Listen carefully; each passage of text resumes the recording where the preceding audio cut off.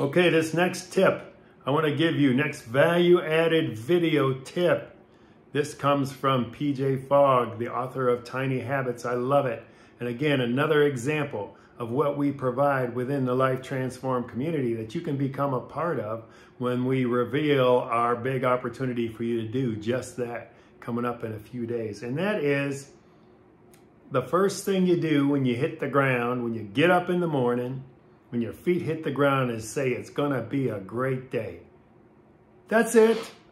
That's the tip. Try it. Do it every day. You have to be consistent with it. Do it every day. And you are going to see a difference. I guarantee you, you are going to see the difference. It's, it's neurological, it's physiological. There's so many things happening in, in your brain, uh, with your mindset when you start off the day that way. Just trust that it's going to work, and it will. So start that tomorrow. That's a great value added tip. Many more within our community, so get involved.